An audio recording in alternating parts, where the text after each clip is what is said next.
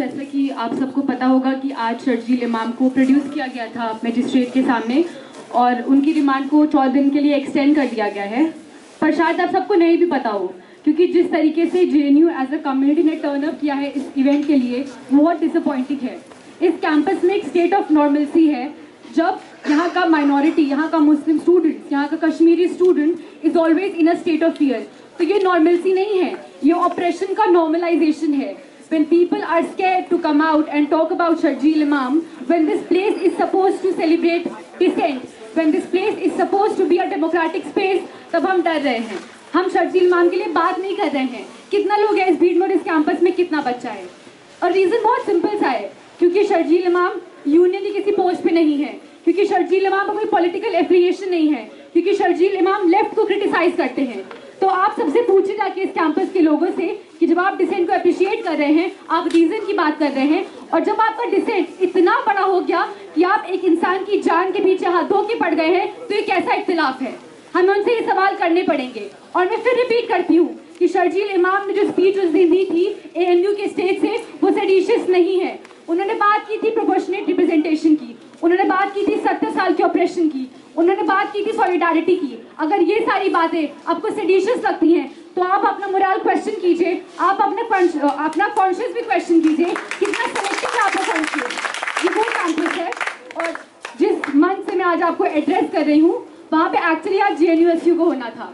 पर मार्च स्टार्ट होने के आधा घंटे पहले वो एक मैसेज सर्कुलेट करते हैं। कोई ऑफिशियल स्टेटमेंट नहीं आता है, जिसमें वो कहते हैं कि ड्यू टू अनअवॉइडेबल सर्कमस्टांसेस हम ये प्रोटेस्ट नहीं कर पा रहे हैं उससे जस्ट तीन चार घंटे पहले जस्ट तीन चार घंटे पहले वो पोस्टर निकालते हैं। When this march is supposed to be about Sharjeel Imam वो उसमें सबके नाम लिखते हैं। उन सबके नाम भी जो इस टाइम बेल पे है। कोई जाके जेएनयू को ये बता दे कि आप इस यूनिवर्सिटी के रिप्रेजेंटेटिव हैं। इस कंट्री के रिप्रेजेंटेटिव नहीं है तो इस कैंपस के स्टूडेंट की पहले बात कीजिए। और मैं उनको आपकी हिस्ट्री बता देती हूँ इस पूरे इवेंट को लेकर। ऑब्वियसली आप सब नजीब का पूरा केस जानते हैं और उसमें किस रिस्पॉन्सिबिलिटी के साथ J N U S involve था, वो हम सब कभी भूल नहीं पाएँगे।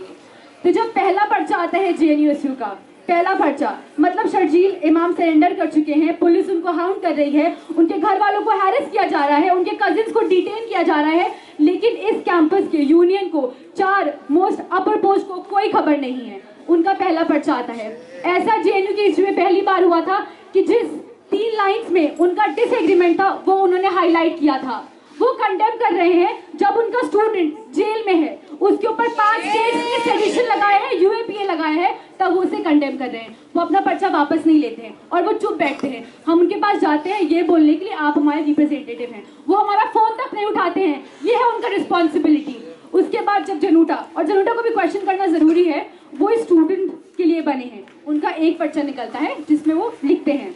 उसके बाद लाता है जेएनयू सब में दूसरा पर्चा।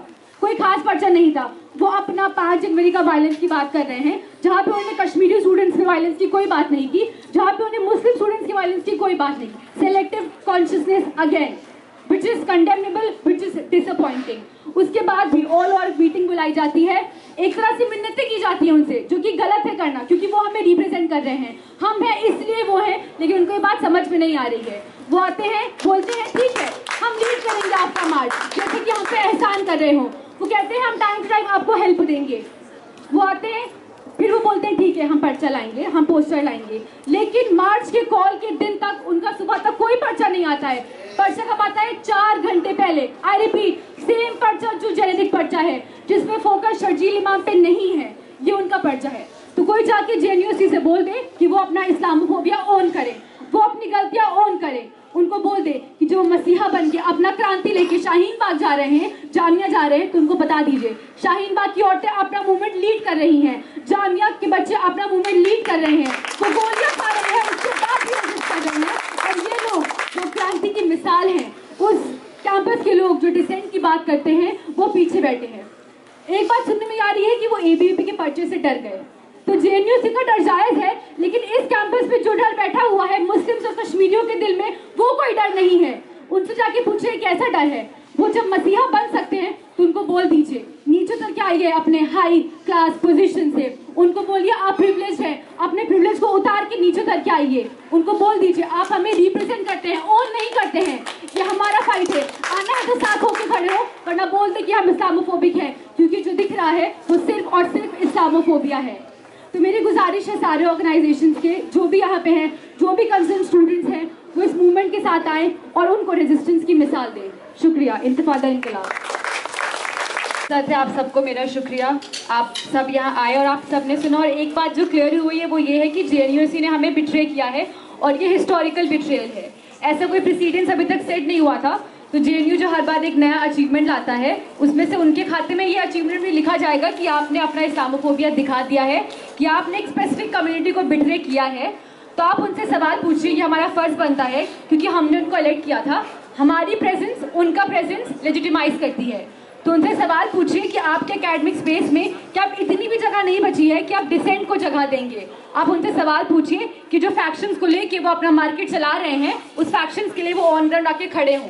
उनसे आप ये भी सवाल करिए कि उनका ये मार्केट अब चलने वाला नहीं है, क्योंकि हमें दिख रहा है कि कौन हमारे साथ खड़ा है और कौन हमारे खिलाफ खड़ा है। तो एक एहसान वो हम पे ये कर दें कि वो बता दें कि वो हमारे साथ खड़े हैं, या वो हमारे खिलाफ खड़े हैं। कि स्टेट ऑफ़ कंफ्यूजन बना के वो अपना पॉलिटिक्स अब यहाँ पे कंटिन्यू नहीं कर पाएँगे। और दूसरी बात ये I repeat chakka jam is not sedition nothing in Sharjeel Imam speech was seditious whatever he said is the bare truth of our existence he is our voice and we'll keep fighting for him तो आप सब ऐसे ही आगे साथ आइए और इस movement को आगे बढ़ाइए। शुक्रिया